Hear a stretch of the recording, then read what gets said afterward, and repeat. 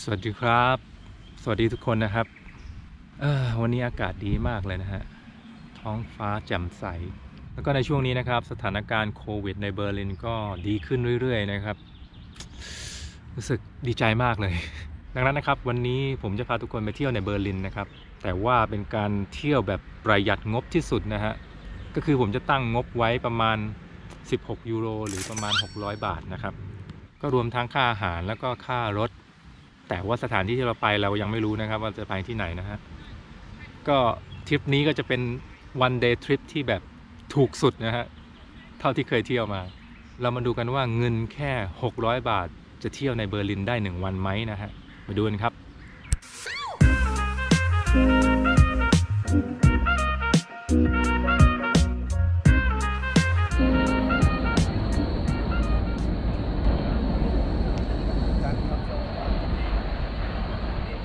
ตอนนี้เราก็อยู่ที่ Alexanderplatz นะครับ ที่นี่จะเป็นจุดเริ่มต้นนะครับ ที่เราจะเริ่มทัวร์กันในวันนี้นะครับคือผมจะสมมุติว่าเราพักกันอยู่แถวนี้นะครับ เพราะว่าตรงนี้เป็นใจกลางของเบอร์ลินนะฮะก็จะหาได้ง่ายนะครับสำหรับคนที่มาเที่ยวเบอร์ลินครั้งแรกนะครับแถวๆนี้ก็จะมีห้างมีศูนย์การค้าแล้วก็มีโรงหนัง มีแหล่งช้อปปิ้งมีที่เที่ยวเยอะนะครับแถวๆนี้แล้วก็เดินไปหน่อยก็จะมี เป็นโบสถ์หรือเป็นสถานที่สวยงามนะครับ เดี๋ยวเราจะพาไปเที่ยวกัน แต่ว่าก่อนเราจะเริ่มต้นทริปนี้นะครับ เดี๋ยวเราต้องไปหาอาหารเช้ากินกันก่อนนะครับ อย่างที่บอกนะครับทริปนี้จะเป็นทริปที่เราประหยัดงบที่สุดนะครับ ด้วยเงิน 600 บาท ก็เดี๋ยวเราจะไปหาอะไรกินกันที่มันถูกๆนะฮะก็เริ่มจากกาแฟแล้วก็อาจจะมีขนมปังอะไรอย่างนี้นะครับ โอเค เราไปดูกันไป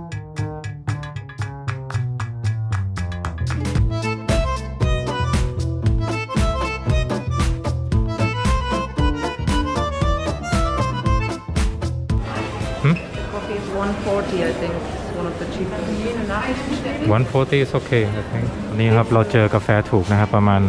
1ยูโร40 เซนนะครับ คิดว่าโอเคอยู่นะ ถูกสุดแล้วแถวนี้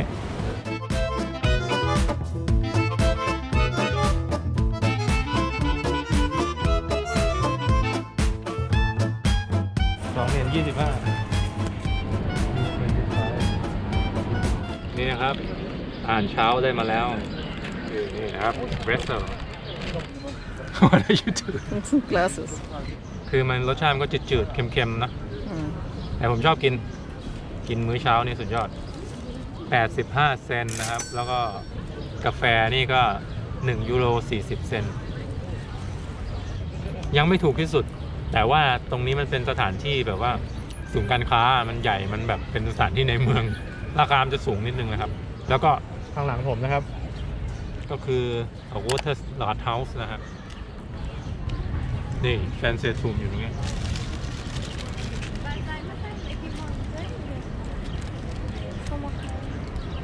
ตรงนี้นะครับ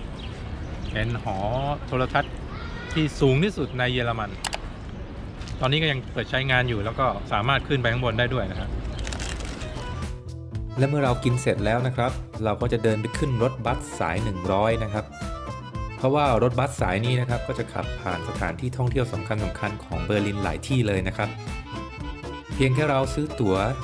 แค่ใบเดียวนะครับสำหรับขาไป ราคาตั๋วอยู่ที่ 3 ยูโรนะครับ ก็สามารถใช้ได้ภายในเวลา 2 ชั่วโมงนะครับ เราจะขึ้นจะลงตอนไหนก็ได้นะครับ ส่วนขากลับนั้นเราก็ต้องซื้ออีก 1 ใบนะครับ ซึ่งรวมราคาตั๋ว 2 ใบก็คือ 6 ยูโรครับนี่ครับ ผมจะสาธิตการซื้อบัตรนะฮะ คือถ้าปกติเรามาคนเดียวนะครับ ไปกลับเราจะซื้ออันนี้นะครับ 2 ใบ ก็ราคา 3 ยูโรนะครับ แต่ว่าถ้าคุณมา 2 คนนะครับ ไปกลับซื้อเป็นแบบนี้ก็ได้นะครับ ตั๋ว 4 ใบ มันก็จะประหยัดขึ้นนะครับ แล้วก็มีตั๋วแบบทั้งวันนะครับ 24 ชั่วโมง มันก็จะประหยัดเข้าไปอีกนะครับ ถ้าเราไปหลาย ๆ ที่อะไรเงี้ยนะครับ8ยูโร80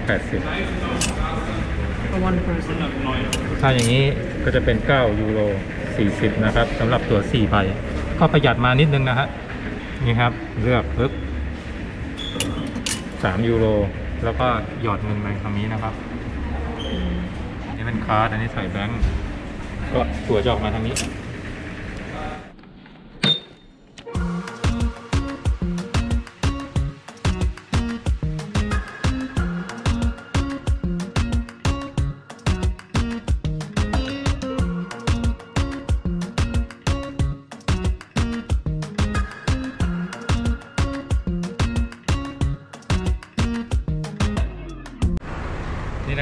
ผมก็คือเบอร์ลินาโดมนะฮะ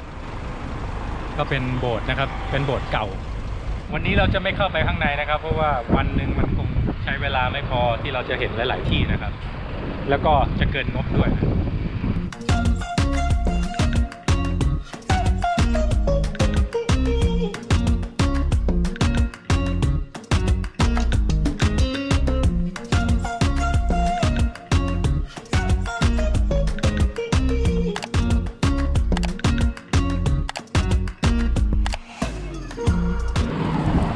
อากาศร้อนมากประมาณ 26 องศา ร้อนตับจะแตก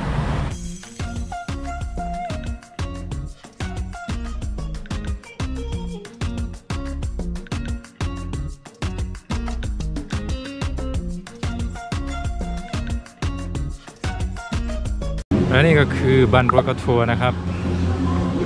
ตรงนี้ก็ปกติแล้วก็จะมีกิจกรรมอะไรหรือเป็นการประท้วง หรือก็เป็นพวกงานอีเวนต์อะไรก็ส่วนใหญ่จะมาจัดที่นี่นะฮะ ก็จะมีตลอดนะครับช่วงวีคเอนนะฮะ ตรงนี้คือโรงแรมที่มีชื่อเสียงมากเลยครับ a t l o n a t l o n Hotel ก็จะเห็นได้ตามภาพยนตร์ตามซีรีส์ต่างๆนะฮะเอ๊ะถึงแล้วบา d ดนบวก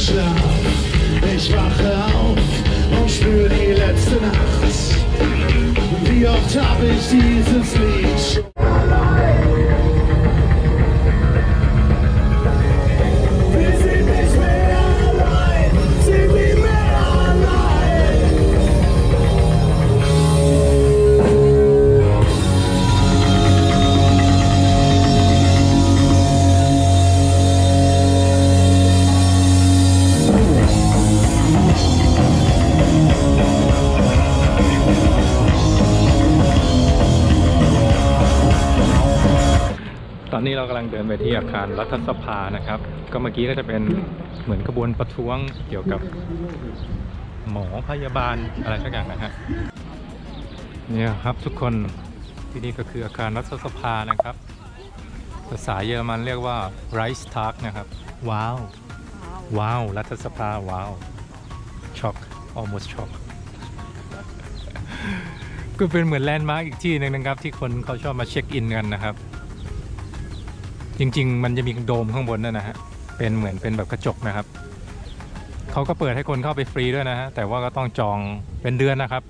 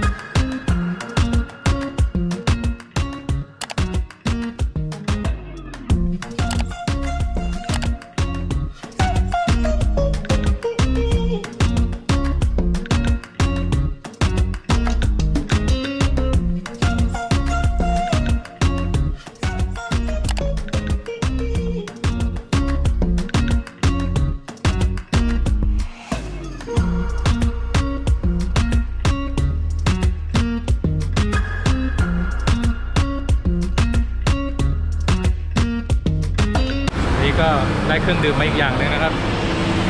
1ยูโร50นี่ครับร้านเคอรี่36 เดี๋ยวเราจะหา Currywurst แบบวีกันกินนะฮะ Currywurst Berlin style นะครับจะเป็นไส้กรอกย่าง แล้วก็มีซอสเคอรี่นะครับ อันนี้เป็นแบบวีแกนนะครับ ก็รวมทั้งขนมปังด้วยนะฮะก็ 3 ยูโรนะฮะ ตอนนี้เราใช้ไปแล้ว 12 ประมาณ 12 ยูโร 12 นิดๆ ก็ยังเหลืองบอีกนิดนึงนะฮะ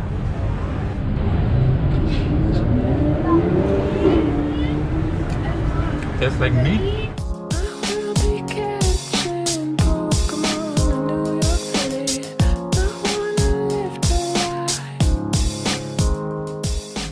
Kurfürstendamm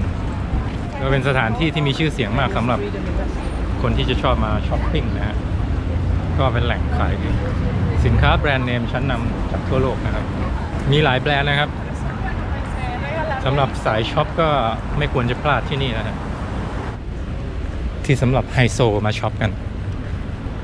นู่นเพียบเลยตรงนู้นน่ะนี่ So mask. แมสไฮโซแมส I saw แต่ the Hard Rock Cafe. อ่านั่นฮาร์ดล็อกคาเฟ่นะฮะอันนี้ศูนย์ Apple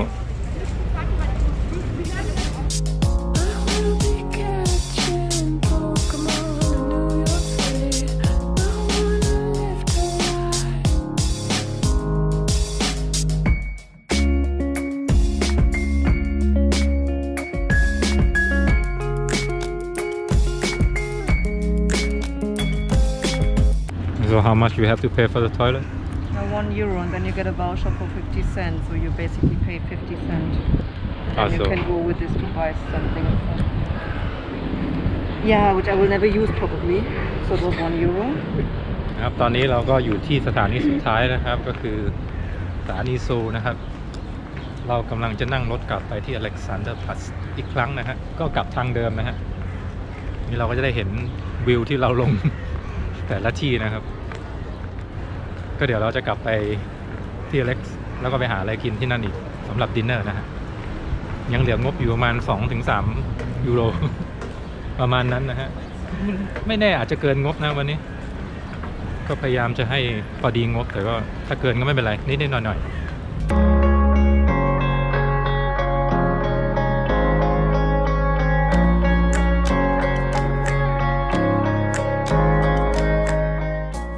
ที่นั่งที่ดีที่สุดบนรถบัสหมายเลข 100สำหรับเด็กและผู้ใหญ่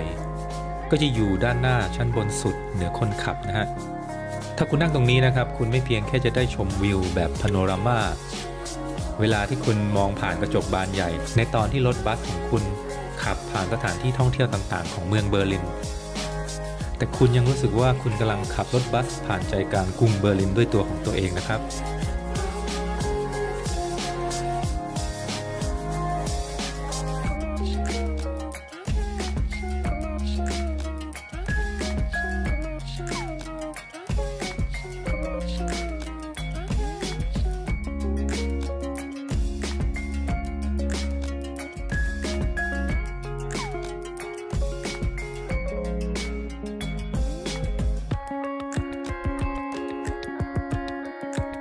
และมื้อเย็นของผมในวันนี้นะครับ ผมก็ได้ผัดบะหมี่ซึ่งราคา3ยูโร50 เซนจริงๆแล้วมันเกินงบมา 25 เซนนะครับ แต่ก็ไม่เป็นไรเนาะถือว่าใกล้เคียงนะครับ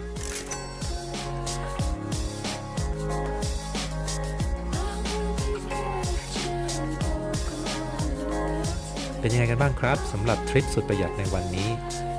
ถ้าใครอยากเห็นและเรียนรู้เบอร์ลิน หรือประเทศเยอรมนีให้มากกว่านี้แล้วก็อย่าลืมกด subscribe ให้ผมด้วยนะครับ และเรามาดูกันต่อว่าคลิปต่อไป ผมจะพาเพื่อนๆไปชมอะไรกันอีก แต่ตอนนี้ผมต้องขอลาไปก่อน สวัสดีครับ